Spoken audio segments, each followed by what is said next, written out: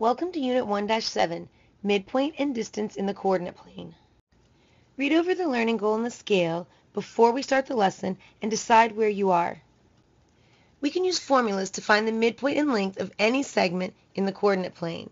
On a number line, the coordinate of the midpoint is the average of the coordinates of the endpoints. So here, m, the midpoint, is a plus b divided by 2. In the coordinate plane, the coordinates of the midpoint are the average of the x-coordinates and the average of the y-coordinates of the endpoints. So we will add the x-coordinates and divide by 2, and we will add the y-coordinates and divide by 2. This will give us the x-coordinate of the midpoint.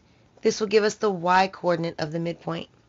In example 1, we'll find the midpoint of a segment on a number line and the midpoint of a segment on a coordinate plane. In part A, segment AB has endpoints negative 4 and 9. What is the coordinate of its midpoint? To find the coordinate of the midpoint, we want to take the average of the two endpoints. So negative 4 plus 9 divided by 2. Since negative 4 plus 9 is 5, 5 divided by 2 is 2.5. So the coordinate of our midpoint is 2.5, which is about right here. For part B, segment EF has endpoints E at 7, 5 and F at 2, negative 4. What are the coordinates of its midpoint?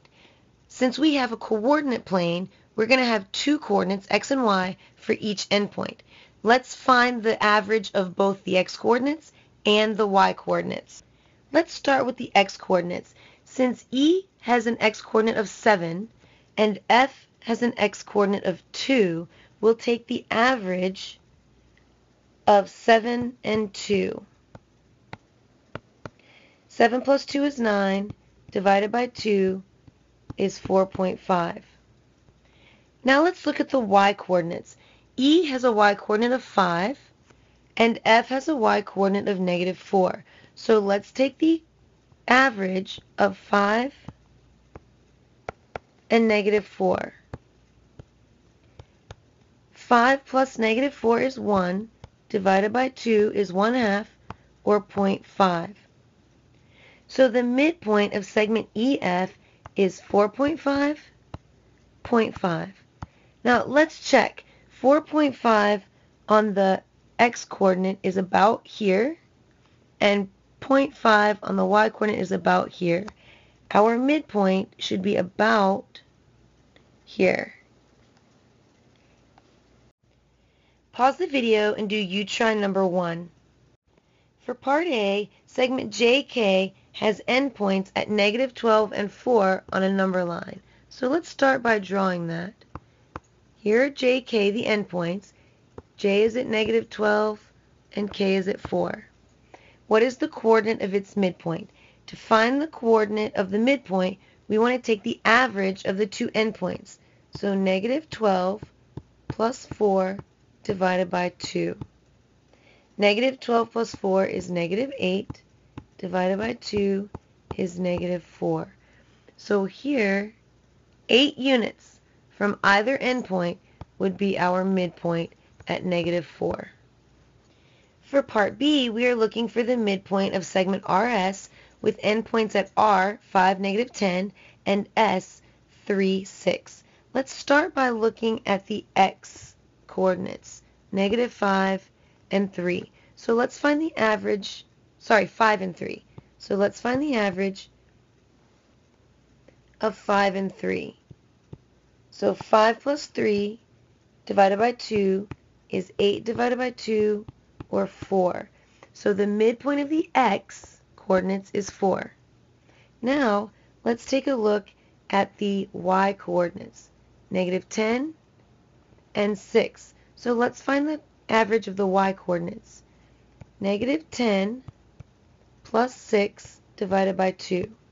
Negative 10 plus 6 is negative 4 divided by 2 is negative 2. So the y-coordinate of the midpoint is negative 2. Our midpoint has coordinates of 4, negative 2. In example 2, they tell us the midpoint of segment CD is point M at coordinate negative 2, 1. One endpoint is C at coordinate negative 5, 7. We want to find the coordinates of the other endpoint, D. Let's start by letting M at negative 2, 1 equal xy. And let's let C, negative 5, 7, represent x1, y1. Now let's write out the midpoint formula. Now let's solve for x1 and y1 in both equations. Let's start by multiplying both sides by 2.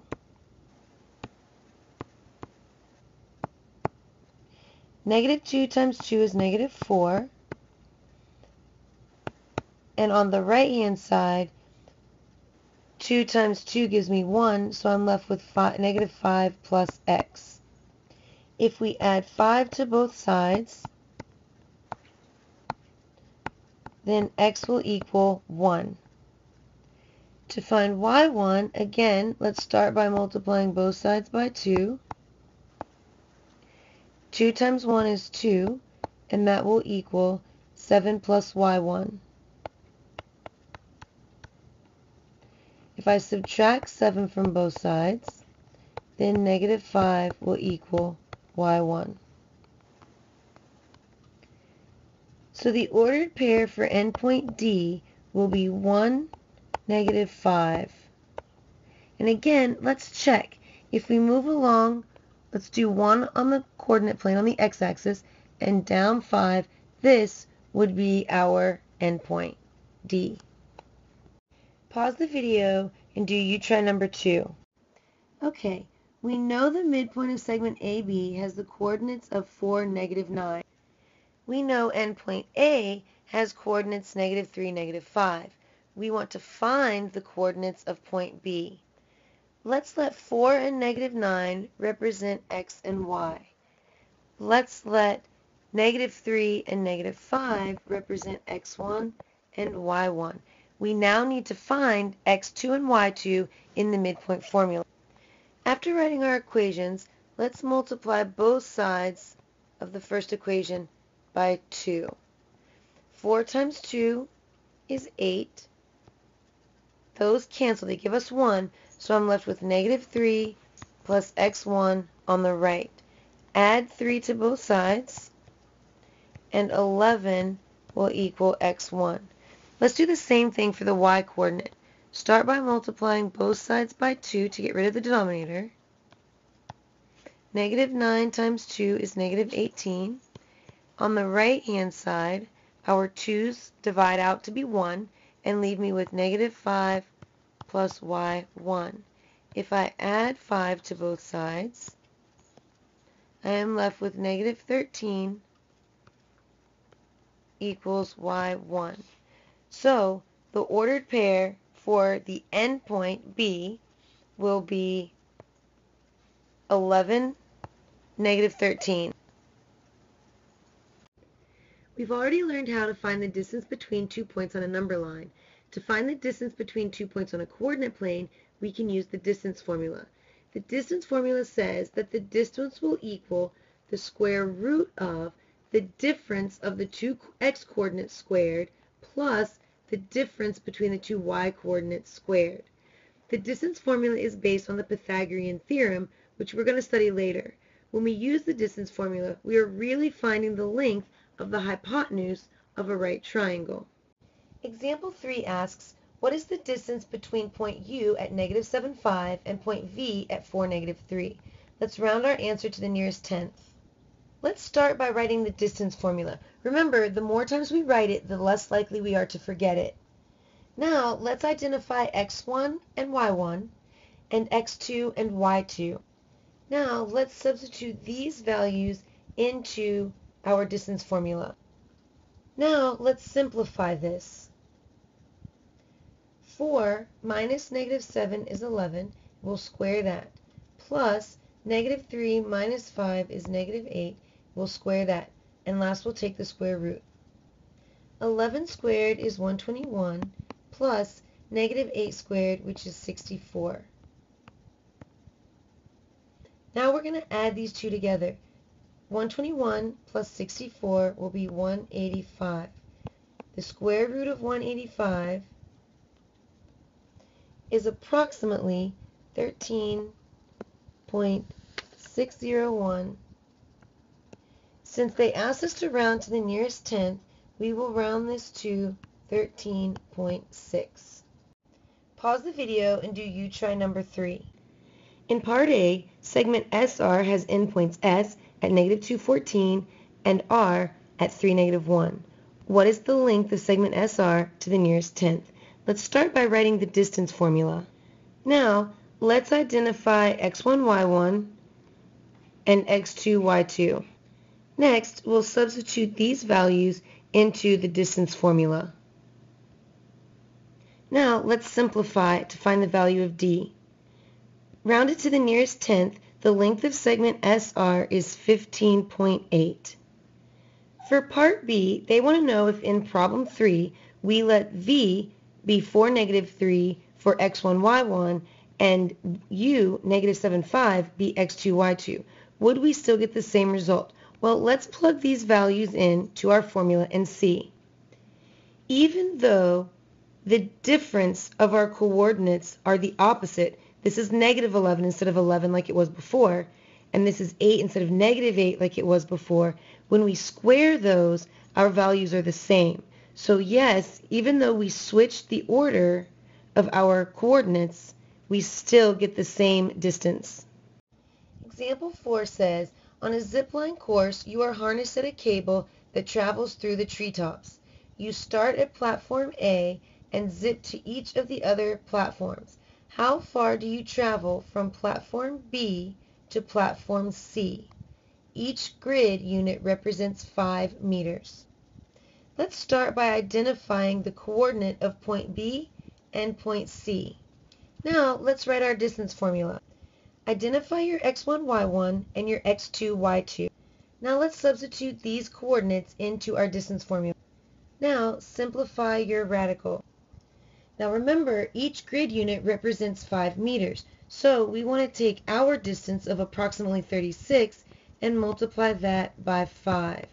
We will get 180 meters approximately. Pause the video and do you try number 4. Okay, let's see how far we will travel from platform D down to platform E. Write the distance formula and identify the coordinates for point E and point D. Identify your x1, y1 and x2, y2. Now substitute into the distance formula and simplify. Remember that each grid is 5 meters. So we want to take our answer and multiply it by 5. That will give us approximately 102 meters. Sorry, 182 meters. Now is your chance to shine. Let's see how well you learned what was taught in the video. Hit pause and complete the lesson check now. Make sure you check your answers. If you have any questions, ask me tomorrow in class. If you feel like you really understood the lesson, please try the challenge. Now that we're done, take another look at the learning goal. Reread the scale and see if you've progressed any higher since the beginning.